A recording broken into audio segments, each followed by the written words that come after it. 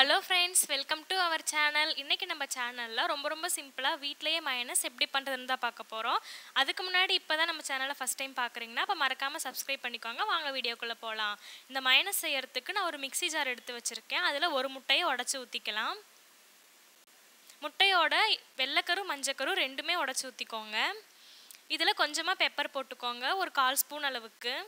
இதில் ஒரு மூணு பல் பூண்டு போட்டுக்கோங்க. இதில் கால் ஸ்பூன் அளவுக்கு சுகர் ஆட் பண்ணிக்கோங்க.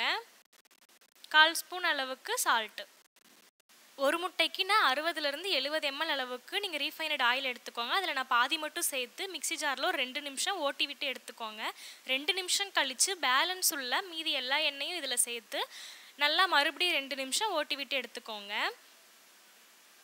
இது மாதிரி மொத்தமாகவே இது ரெடி ஆகிறதுக்கு அஞ்சு நிமிஷம் தான் ஆகும். இது ரெடி ஆயிடுச்சு அஞ்சு நிமிஷத்தில் நம்ம எவ்வளோக்கு எவ்வளோ எண்ணெய் அதிகமாக சேர்க்குறோமோ அவ்வளோக்கு அவ்வளோ இது வந்து திக்காக இருக்கும்.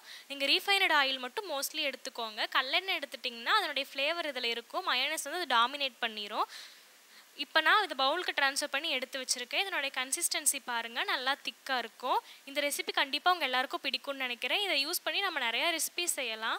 ஸோ கண்டிப்பாக நீங்கள் உங்கள் வீட்டில் ட்ரை பண்ணி பாருங்கள் அண்ட் இந்த வீடியோ உங்களுக்கு பிடிச்சிருந்துச்சுன்னா சப்ஸ்கிரைப் பண்ணிக்கோங்க. தேங்க்யூ ஃபார் வாட்சிங்